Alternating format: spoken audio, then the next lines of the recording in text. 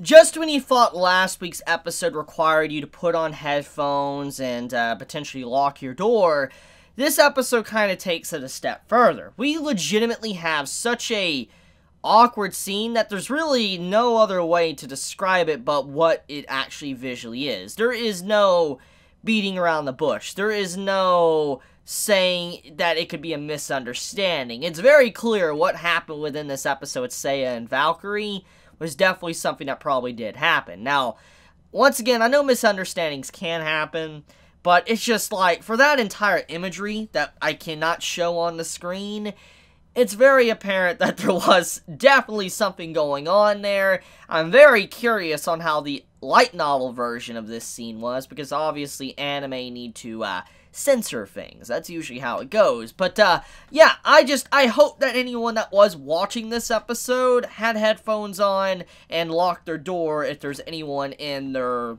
you know, living quarters. Because, yeah, it definitely required that. I mean, we all know anime can be weird, but, man, this is, this is something. But, okay. Enough with that, though. Let's, uh, like, let's get into some of the spice. So, uh, there was a lot, like, I mean, a lot of spicy fan service throughout this entire episode of Cautious Hero.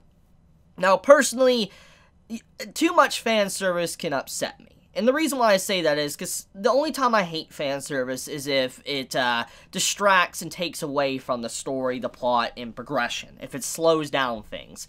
But in all honesty, this week's episode of, you know, Cautious Hero the fan service didn't really slow down the plot and the story, etc. It was mainly just there in mid-conversation, which is there to kind of keep uh, certain individuals that were trying to survive November, you know, they can now do whatever they want in December. It kind of was there probably for them as a personal gift. But all jokes aside, though, it, this this episode definitely had a lot of fan service. And Valkyrie, whoa, just the way she was coming on to Rista, but also what was going on with, you know, Aryusha, Seiya, it's uh, definitely something that's just like, whoa. Like, you, you don't expect it. I, I could definitely see a lot of certain artists drawing a lot of pictures from this episode of Cautious Hero. I definitely sense it, because it definitely had those scenes that could uh, inspire certain select individuals. But all jokes aside, I know I keep saying that, but seriously, this time, jokes aside, this episode had a lot of kind of scary moments, honestly. Number one, going to the beginning of the episode, we continue off where last week's episode ended, where we met an individual that summoned a creature that was able to destroy this legendary armor that was basically meant to take down the Demon King. And with its destruction, it basically means that Seiya no longer has a sword that can defeat the Demon King, and no longer, you know, armor that can also survive attacks from the Demon King. So with this entire event going on, it makes Seiya in a very bad situation. And the dude goes even further by sacrificing himself and everything just to be able to summon a creature that can defeat Seiya. And I would like to remind everybody that the creature that this man summoned was a creature that isn't necessarily the final boss. For instance, isn't quote-unquote the Demon King, not the final enemy of this story. And so when you really think about the difficulty of bringing down such a creature within this episode, it's kind of scary. In all honesty, it's really scary because think about this. That creature was able to travel into the goddess realm, or the god's realm, and fight all the gods, pretty much, that we've seen thus far, and defeat them until eventually he got stopped by Valkyrie. And Valkyrie technically had to go into her ultimate god form just to be able to bring down said foe. So it really just says a lot about how ridiculous an S-rank world is and how difficult it is to bring them down, and this isn't even the Demon King. It really does make me wonder, though, how Seiya could possibly beat the Demon King at this point, especially since he no longer has the weapon to bring the Demon King down, the armor to tank the Demon King, and the best of the best, apparently, of the entire God's Realm had to take down, basically, a summon.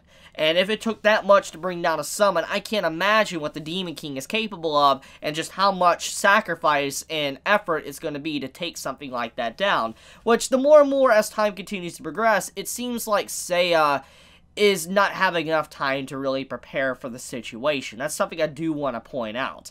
Is that in this episode, there was clear indication that Seiya is not perfectly prepared. He's not ready perfectly. Because you even see Rista mention that she didn't notice at first, but she realizes that Seiya didn't say his common catchphrase when they enter through the portal to go back to the S rank world.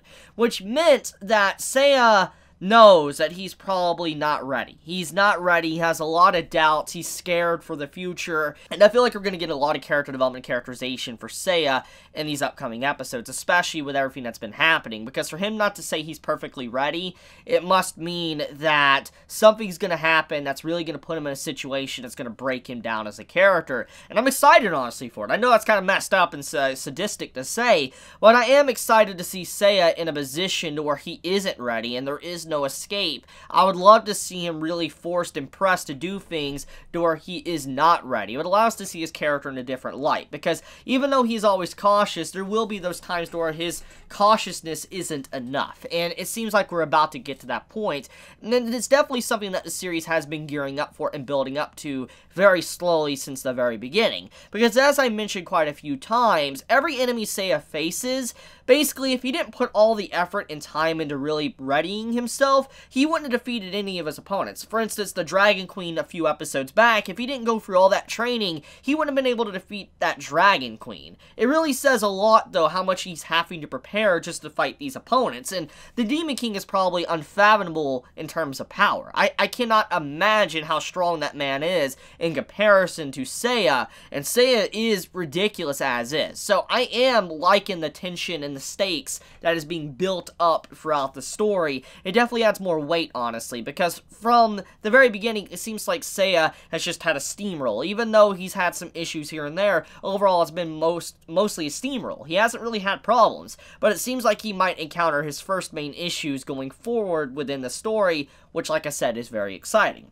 So, um, let's get into Seiya and what he could potentially do in these upcoming episodes. Since technically there is no time to waste now, and he doesn't really have much time now to really train, What's going to happen? Well, we come to find out that the old man that wiped out one of the Heavenly Kings at the end of this episode, he has a curse or affliction to where he basically turns into an old man or slash baby. Now, we don't really know exactly how this works. I don't really know how it works, and I don't know necessarily if it can be fixed, but whatever the case may be, it is definitely funny, but I feel like it can lead to a situation to where it can be very dire. And honestly, before we got to see the weakness or curse to the dude, I was under the impression that maybe the guy was, let's say, a demon king or something, or a demon. I, I thought something like that was going to happen. It didn't happen, obviously, but uh, I was under the impression something like that could happen for the reason why he was so strong.